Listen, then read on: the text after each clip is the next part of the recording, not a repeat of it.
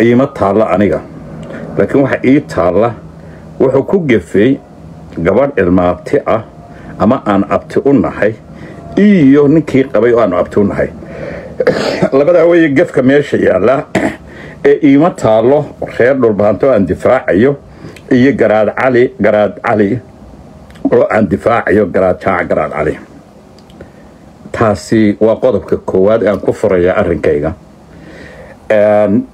haddaan u soo noqdo garaadka aabbihiiba waxa uu wax ka sheegay aabbihii iyo hooyadiiba wax ka sheegay. Waxa uu yidhi dadka soomaalida si fiican u dhegaysta waxa uu yidhi isaga oo ingiriiska ku maqan waa waqtigii lixdanadii oo sanadiyo badh maqnaa sanado maqnaa ayuu wuxuu u soo noqday islaantii oo ilma haysata oo aanu kaga tegin. Waa taata uu cuskaday bal haddaba dhegaysta dadkow garaad cali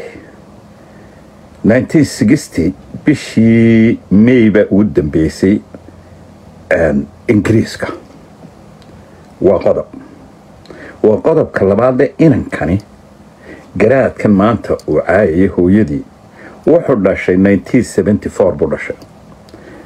Iyo toddobaatan iyo afartii buu dhashay markan uu dhalanaya kun iyo sagaal boqol lixdan iyo sagaalkii aabbihii wasiiradii dowladdii laga inqilaabay dowladdii maxamed siyaad barre kacaanku inqilaabay bay ahayd. Aabbihii wuxuu ahaa raggii buulka la dhigay ee maxay atay xabsi guriga laga dhigay ayuu ahaa wasiir dambe ma noqon jago dambe looma dhiibin gaari ma lahayn darawal ma lahayn liiduu deganaa xaaska kalena waxay u deganeen xaafadan ladhaahdo la yidhaahdo baashii bay u deganeen muqdisho waan garanayaa waan wada garanayaa reerka. Sidaa aawadeed wax ragga la ilaaliyaabo lahayla dalka kama bixi kartay dowladdii maxamed siyaad barre wasiiradii dowladdii hore oo dhan sidaasaa loo galay ma lahayn markaa darawal iyo shaqo uu hayay toona ma jirin. Waa qodob. Saddexdaa qodobba wuxuu ka sheegay been ta ingiriiska iyo wasiir buu ahaa iyo darawal buu lahaa iyo lixdankiibuu inankani dhashay. Wixii ka horreeyey afartaa kelmadoodba waa been dadka soomaaliyeed oo dib ugu fiirsada. Taas waa qodob.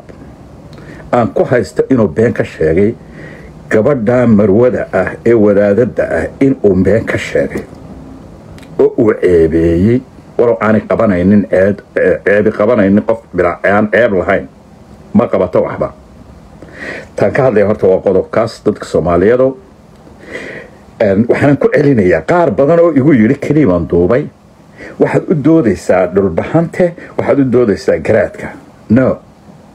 Garaadku hadduu la hadlayo ninka iska celinayo oo uu la hadlayo wax odhanayo isaga wax ka sheegayo kama jawaabeen hadduu dhulbahante ama harti wax ka sheegayna kama jawaabeen laakiin waxa ka jawaabaya waxa weeyaan inankaa uu beenta ka sheegay ee garaadkii wasiirka aa garanaysaan garaad cali oo xabsi guri ku ahaa wakhtigan dowladdii maxamed siyaad barre. Aan darawal lahayn oo waxba lahayn oo shaqo haynin oo wasiir ahayn. Waa kow. Markaad halkaa taagan tahay waxaan leeyahay waa meelka dhacaynan hore u arag. Ninkan wuxuu sheeganayaa boqor. Balse boqorka wuxuu yahay jilib yar oo laydhahaa biciido reerka habar jeclo uma ahay reerka habar jeclo saldanad bay leeyihiin. Iyo salaadiin kale oo badan. Waa qodob. Qodobka labaad wuxuu ku hadlay magacaygii oo uu isaaq ku hadlay magacii isaaq. Isaga oo ka dhigaya inuu u doodayo isaaq intaa ma iga haysaan? Qodobkaa shanaad ee aan u raacayaana waxa weyaan isaga oo magacaygii iyo magacii dadka laydhaha shaqisaxaaq shaqisaxaaq ayuu u dooday. Isaaq maa kama hadlo. Laakiin shaqisaxaaq buu ka hadlay waan ku jiraa anigu markaa. Mana garanaya meel shaqisaxaaq ku boqoraday oo uu boqor ugu noqday oo uu ugu yahay. Saldanadii ugu horreysay dadkan shaqisaxaaqiisamka waa garxajis. Inan daa-ood la yidhaahdabaa jooga. Reer sugulle na waxay tahay suldanadii labaad bay tahay ee garxajis. Taa dadku way garanayaan waxba idiin faahfaahin maya dadka soomaaliyeedo. Magacaa uu ku hadlay iyo taytalkaa aanu lahayn ku hadlay taasina waa midaan ku haysto. Haddaan u soo noqdo oo aan idhaahdo u gar noqo dad soomaaliyeed ahaan ugu gar noqo. Maxaa ku habboonaa ee kaga habboonaa garaadku? Waxa uu yidhi muxuu yidhi garaadku? Ee uu ku mutaystay ama in hooyadii lagu caayo waxaa lagaga sheego jaa'ifada ah ee dhaqan xumada lagaga sheego muxuu ku mutaystay? Inaabtiday in waxaa laga sheego. Waxa uu yidhi maamul wuxuu yidhi dad inaga nasab hooseeya oo maamul inayna xukumaan. Lig siduu isugu qodbay daawo isugu qodbay inay ina xukumaan oo ay sheegtaan buu yidhi markaa wax aan nasabiyad ahayn inuu yidhaahdo ingiriis baa dhulka isiiyey waa qodob nasabiyad maaha. Inuu yidhaahdo amxaara xabashi baa iga xiga soomaalina. Ma aha nasabiyad iyo dhaqankii aynu lahayn ee aan garanayo.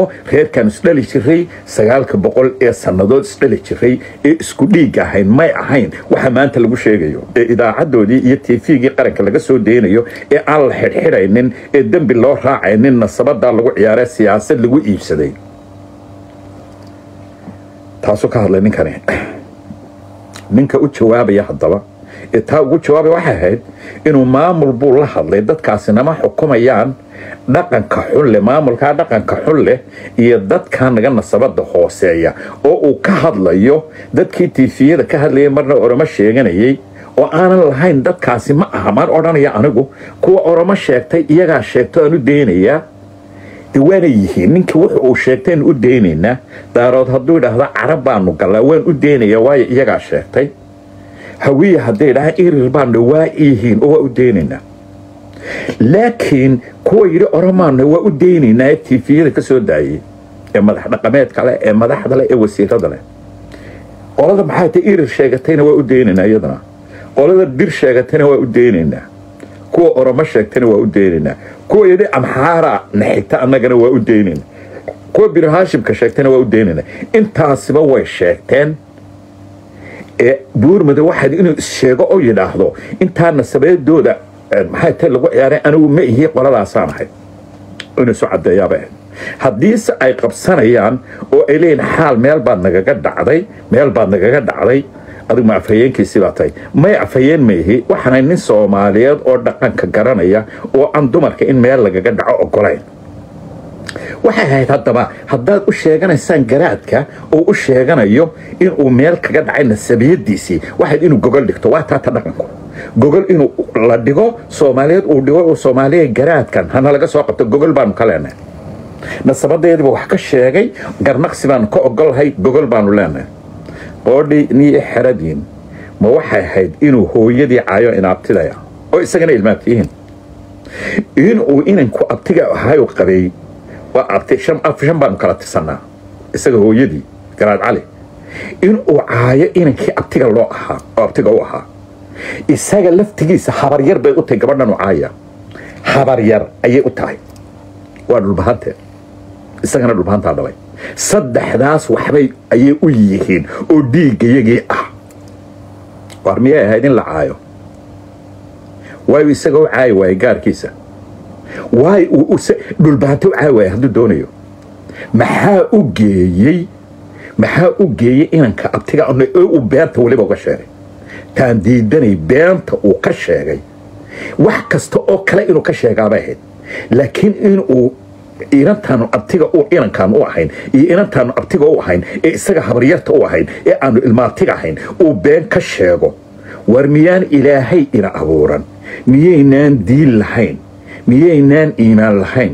Aaway dhaqankii dadnimo dhaqankii soomaaliyeed aaway haddana waxaan leeyahay buurmado iyo cid kasta kuwa ariga isoo caayaya ee la dagaalamaya ninkii maxay tahay isaaq ku sheegay gunta ayaad u doodaysaa.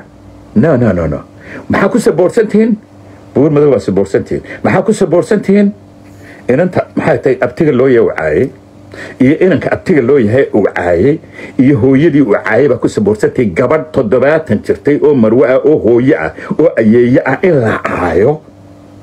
Halkeebay waa diinta kaga jirtaa iyo dhaqanka.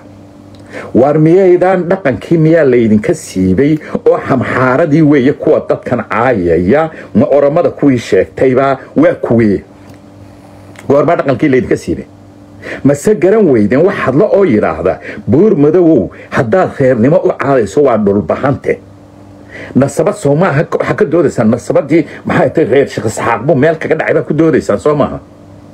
Muxuu yahay dhaqankiiyo raganimadu maxay tahay? Ma in islaama la caayaabaa isagu islaama miyuu caaye? Miyuu gabadh caaye nin gabadh caaya gabadhiisunbaa la caaya ninka walaal haba inan caaya inantoodaa la caaya ninka iyo inantiisaa la caaya war miyuu ninkani dumar caaye oo soo hadal qaada.